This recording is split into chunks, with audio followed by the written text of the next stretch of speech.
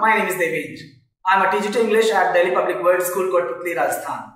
And today I'm here to discuss with you all about one of the topics of grammar, which is this tenses, which is one of the most important topics without which we can't even imagine speaking or, or writing correctly. Right? So let's discuss about tenses today.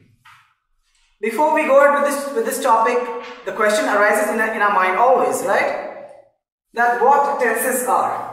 In grammar, we, the tenses are something that express the time and the time and action done. Okay? In tenses, the, in, in grammar especially, in grammar, tenses express the time and action done. Means the time is related to action.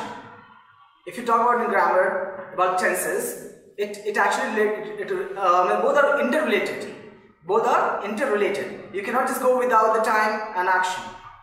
So anything, any action which is which has already happened in the in the past, the action which is happening right now and which will happen in the future as well. So we are here to discuss about these things, the time and action. What time, what action has been done, what action is being taken is being taking place or which is which is taking place at the moment, and the actions which will happen in the future. So generally we all know that there are basically three kinds of tenses, right? Which are which all those three are? Right, you know? Yes. Generally we have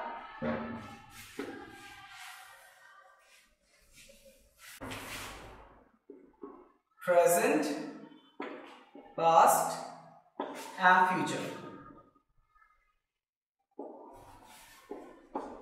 So generally, in general, we all know about this, that generally we have three types of tenses, right? So, but today we'll go deep into it, we'll learn more of it. Let's talk about present tense. In present tense, we have four different subparts as well. We have, we have more, four subparts. What are they? Let's see. We have simple, present, we can also call it present indefinite.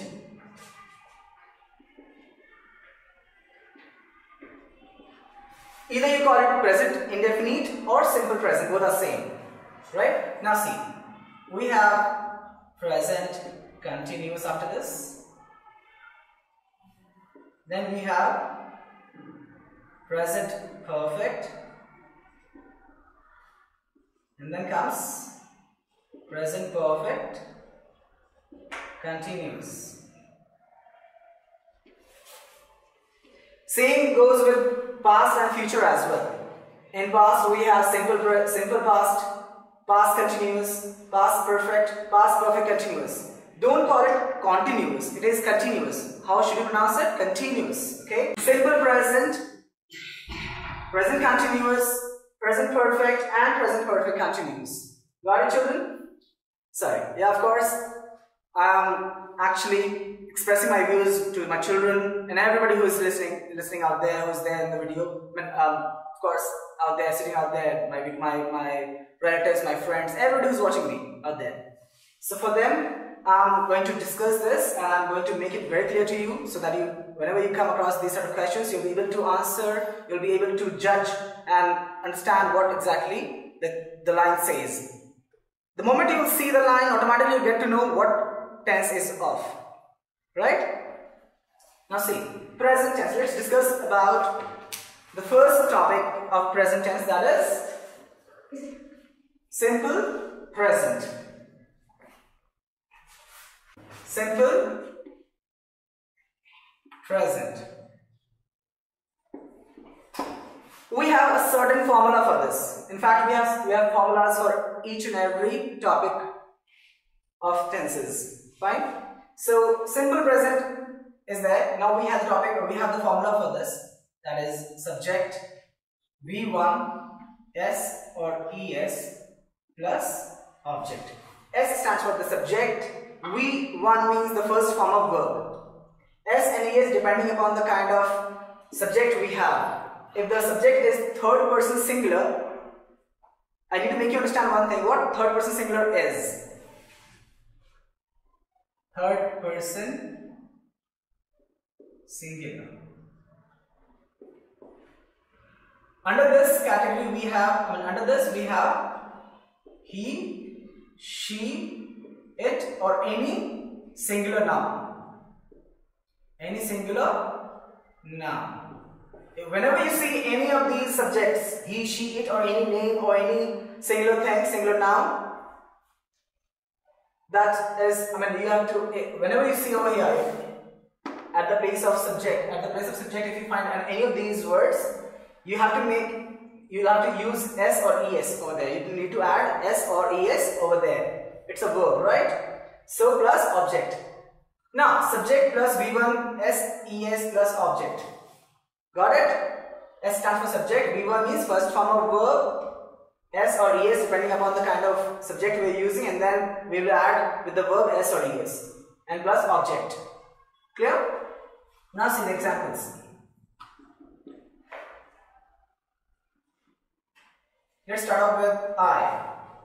I play chess. I play chess. Over here, have I used S or ES anywhere? No.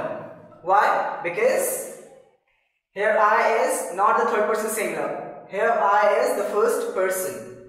Got it? That's why we have not used S or ES over here. So the sentences we write like this. I play chess. We cannot write I plays chess. That will go wrong. So now see another uh, sentences. He plays chess. He plays chess. Okay. Now, in general, where do we use these sentences? In general, if you talk about these sentences, where do we use them in general?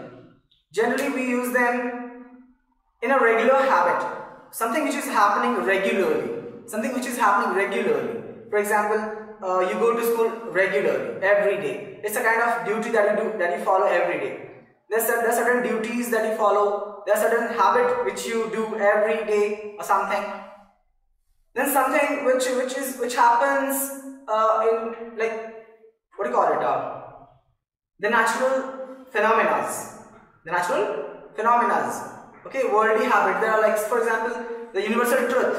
The sun rises in the east. The sun rises in the east. The sun sets in the west. Got it? The earth revolves around the sun. So these are the certain universal truth we that come that, that come under simple present tense. Okay? So here we talk about these things. Now see, he plays chess. Now we have uh, let's see with other subjects as well. You go to school daily. She runs on the terrace. So we need to keep in mind when we talk about simple present, make, make it sure that you write the sentences according to the formula. The subject has to be kept in mind. V1 will always be there. Always remember this, that there has to be V1 and S and ES depending on the kind of words you're using.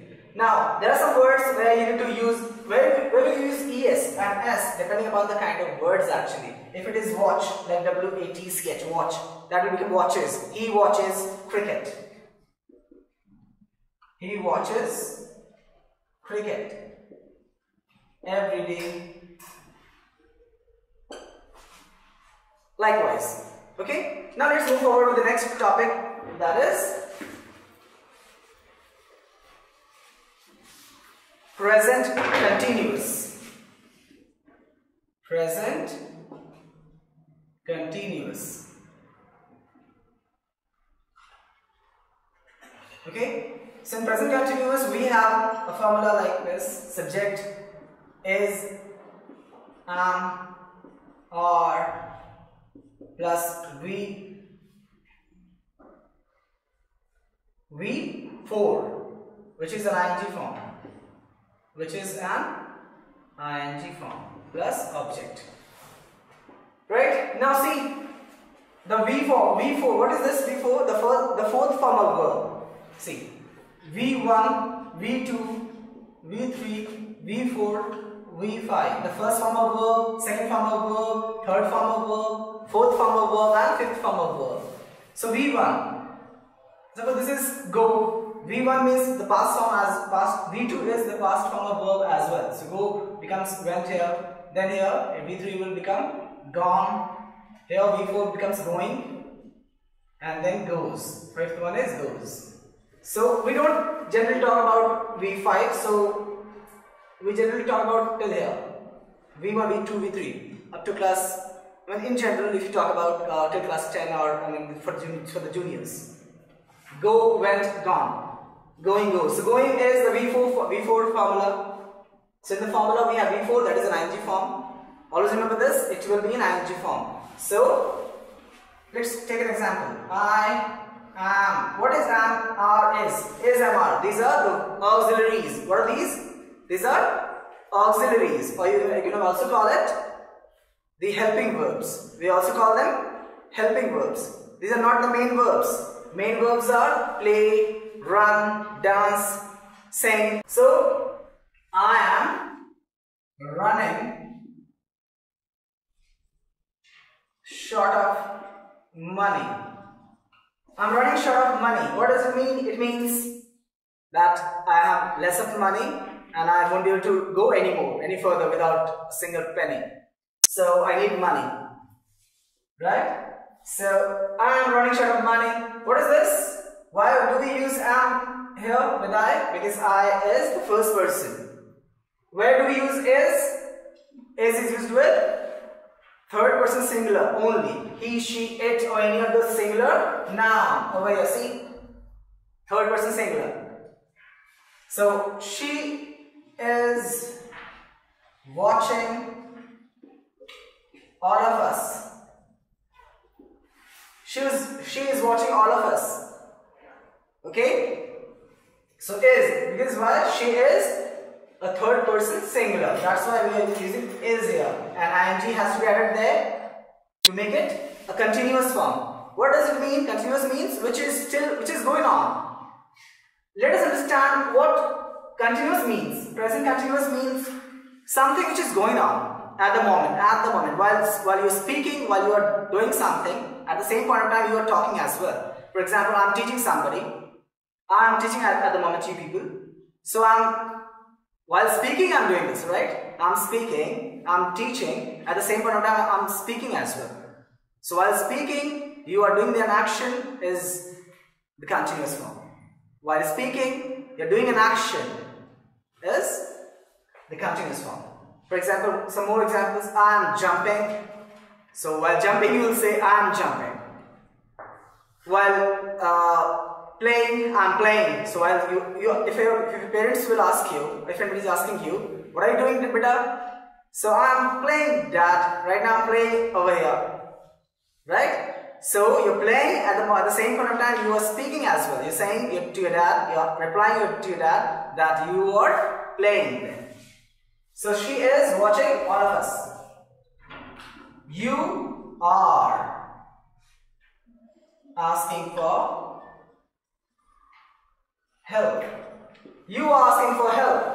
You are asking for help. So you, we, we will use is, what are these? I told you that these are the helping verbs. You are is used with you, with plural verbs, the plural, sorry, with the plural subjects like we, you, they or any plural subjects.